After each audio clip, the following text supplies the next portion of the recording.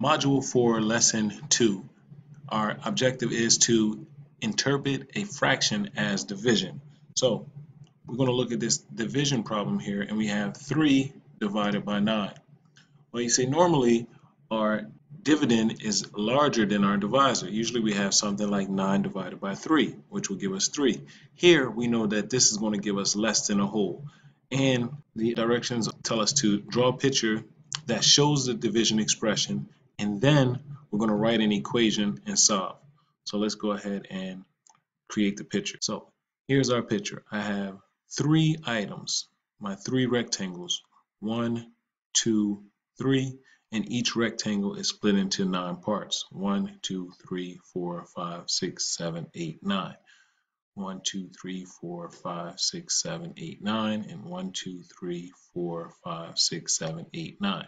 So we could look at this as 3 divided by 9 or 27 ninths divided by 9. Let's go ahead and look at it that way. If we had 3 divided by 9, we know that if we had three of these groups and we gave 9 people, first person would get the first column, second person would get the second column, and all the way throughout, and all the way out to the last person, the ninth person, getting the last three in this column here. So we know that 3 divided by 9 is going to give us 3 ninths. Look at our pattern. Dividend is our numerator, our division sign is our fraction bar, and our divisor is our denominator. The other way, if we counted up all of these, 9 times 3, we know is 27. So we could also say 27 ninths divided by 9 is equal to 3 ninths apiece. All right, looking at B here. We have 4 divided by 3. We would have 1, 2, 3, 4, 5, 6, 7, 8, 9, 10, 11, 12. That's equal to 12 thirds divided by 3, which is 4 thirds. Same thing, we have our dividend as our numerator and our fraction bar is equal to our division sign and then our divisor is our denominator.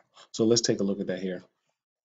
If these were all the same type of crackers or whatever we're dividing, whatever four items we're dividing by three, we could say, well, these first four from here to here, that can go to the first person, the first number one of the three. Then the second four, one, two, three, four, can go to number two. Then the third four, one, two, three, four, can go to person number three. So if you notice, each person got four thirds. One, two, three, four. One, two, three, four for number two. One, two, three, four for number three. All right. Another way that we can write four thirds is equal to, well, we know three thirds is one whole. So if we take one whole away, we have one third remaining. Either answer is acceptable. So let's take a look at this second part here.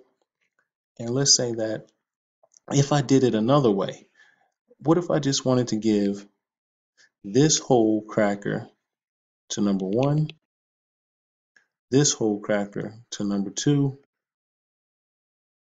this whole cracker to number three. Then I have one cracker left. Now, if you notice, this cracker is split into thirds, so everybody has their whole already. That's the one whole, and now everybody would get that's number one, number two, number three. Everybody would get an additional third.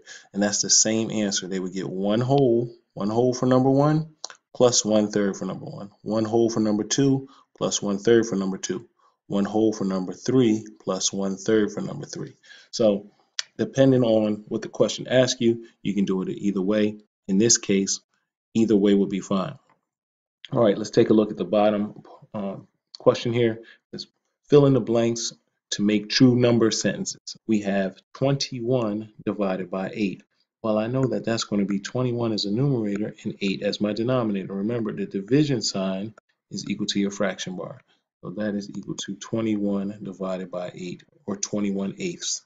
Same thing here. We have 7 fourths.